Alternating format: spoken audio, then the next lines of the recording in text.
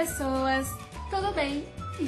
Hoje eu vim com uma dica de hidratação caseira para cabelos que eu sei que muita gente gosta, eu principalmente adoro.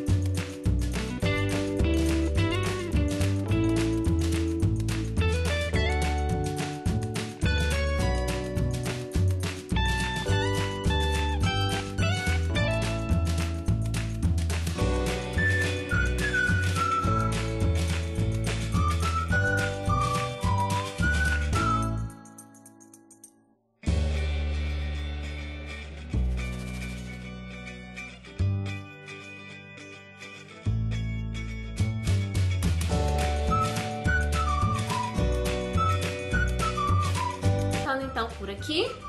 Um beijo da Pretinha e até o próximo vídeo. Tchau!